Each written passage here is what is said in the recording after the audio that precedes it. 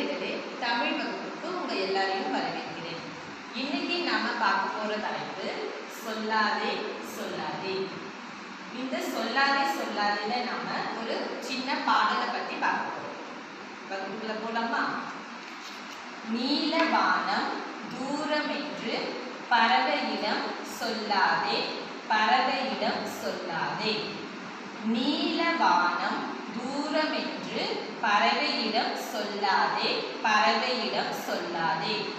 இந்த நீல வானம் தூரம் என்று பறவையிடம் சொல்லாதே. அப்படி அதுக்கு என்ன அர்த்தம்? அதாவது பறவைக்கு பறக்க தெரியும் அதுவும் இல்லாம ரொம்ப தூரத்துல ரொம்ப உயரத்துல பறக்க தெரியும். அதனால இந்த வானம் நீல வானம் தூரமா இருக்கு அப்படின்னு பறவை கிட்ட சொல்லக்கூடாது. அதுதான் இந்த முதல் மூணு வரியோட அர்த்தம்.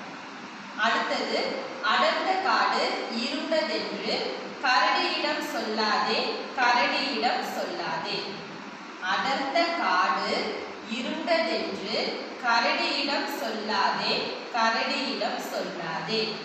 கரடிக்கு கரடி காட்டில் தான் வாழும் இல்லையா?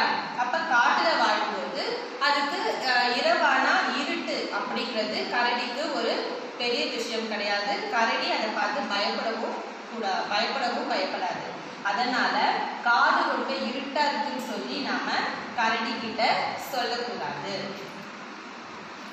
அடுத்ததாக பெரிய கடல் ஆழம் என்று மீன்களிடம் சொல்லாதே மீன்களிடம் சொல்லாதே.